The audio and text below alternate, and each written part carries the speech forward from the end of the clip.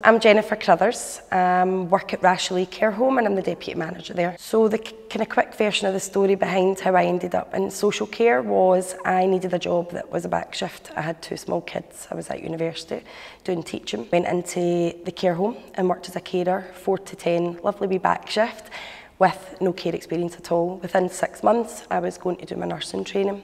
So from then became bank nurse in the care home, a wee stint in the NHS as nurse and then in the last four years became a deputy manager in the care home I'm in just now.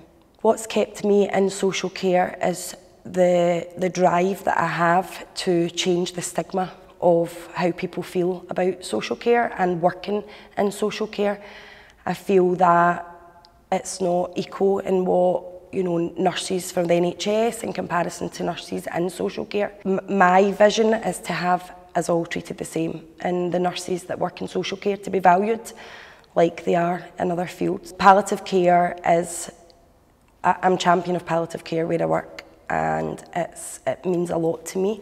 We've recently had a resident who was in hospital.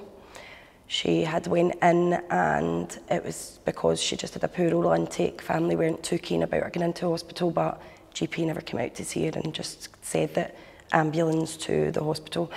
So she ended up stuck there in the hospital. They were doing investigations. The family got the bad news that there was a lot going on um, and wasn't a, a good prognosis. She wasn't going to live. So the family wanted her out and wanted her home for palliative care.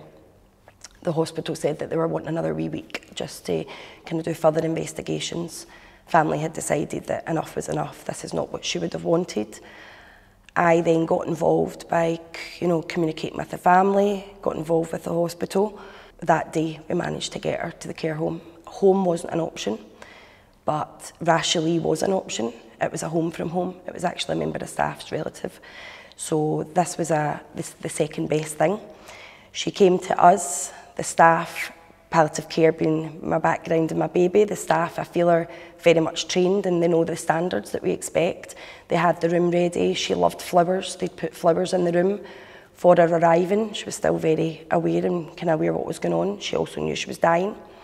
She had a favourite orchestra that she loved. We got an iPad set up in the room so that she could watch this, who she joked that she wouldn't have spent the money to go and see, but she loved this, um, this orchestra. So we had all that set up and got her meds in place and the family were allowed to spend the whole time with her. They didn't leave by her side. And it was a very dignified and peaceful passing. So I think it, it made me feel really good that we'd all done well in our job, but also that it was good that the family got their wishes or the best that we could do. People are scared of coming into social care. They're worried about coming in because people are going to die. And, you know, that's a, it's a, the word in itself scares people. But how we got round that with staff, with families, is just not being scared of saying it, not being scared of using the word dying. And it's worked really well for us, you know, discussing ACPs, discussing care plans with families, you know, saying the word dying, like, you know, and not skirting round that word and making it a topic that's actually can be pleasant to speak about and explaining why it's good to plan death We've started Death and Dying Cafe where we're having relatives coming in and speaking about bereavement. So whether that be they've lost somebody or they're discussing the palliative care for their loved one in the future. And we always explain that if this is planned well in advance, it makes the journey so much better. It makes it so much easier to, to kind of cope with rather than making rash decisions, you know, when you've had the bad news that somebody's took a turn for the worst. So when it's planned in advance, it can make it just so much better and dignified.